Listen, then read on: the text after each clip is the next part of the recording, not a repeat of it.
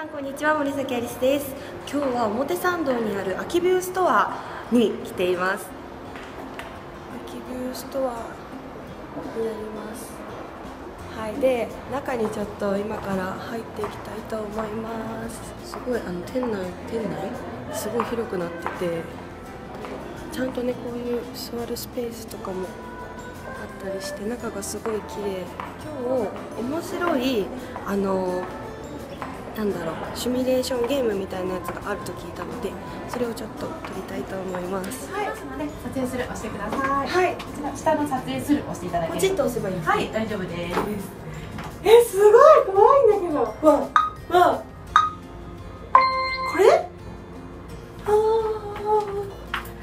これでいいの ?20 秒待つんだって。でもう本当にここの わかるこの狭さこう入って入っていけるぐらいの狭さこれ私ですよ。中に変えてみた。はい。サークルの中に私の顔があるはい今終わりました。おお終わった。すごい。大丈夫、わかりました？わかりました。よかったすね。ごいですね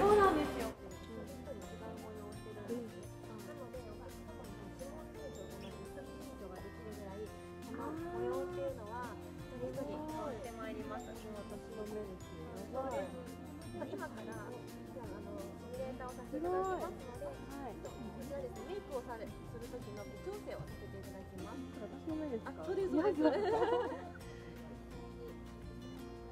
の後こちらで分析をさせていただきますので。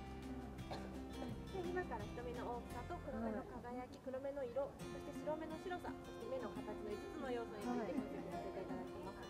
まず黒目の大きさが9.3ミリ、はい黒目が見えてる割合、こちらが92%見えてるということ。綺麗な目をしているということが分かります。ではこちらが総合分析結果でございます。すごい平均値上にございますが、こちらの大きさというところが先ほどの目白目と黒目と白目の比率が黄金比率1対2対1に比べてひとまずこちらの小さめというふうになっています。そして輝きの方がこちらの小さ少なめというふうにはなってます。こちらの目の形も本当に綺麗な上がり目と下がり目にも中目が本当にこの線上にあるっていうのはすごく素敵な目の形をされているということがわかります。なん。か変わりわかりますか？これなん。か濃さっていうか濃さが変わります。なん。か瞳が自然にですよねはい、立すごいのでこちらでさせていただきます。眉のお色でございますが、この髪の色がすごい明るめの綺麗なお色をされてますので、眉のお色もですね、やん。わりと柔らかいていただきたいと思います。割と濃くなってしまうとこがやばいやばいやばいこのようにメイクアップするとすごく表情が変わってくるんです目の形がすごい綺麗ですの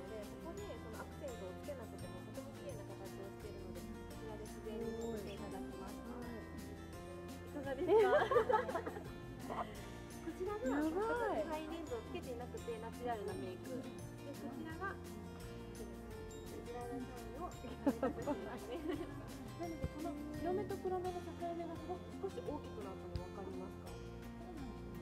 やばいですでも本当に違和感なくつけているのが分かるかと思います。カズさんですす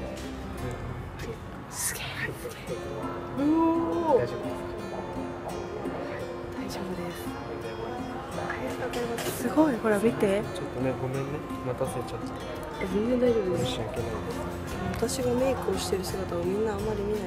はいということでアキビューストア終わりました。見てください。どうですか？はい。すごい綺麗なショップだったのでぜひ皆さん遊びに来てください。それでは森崎アリスでした。バイバーイ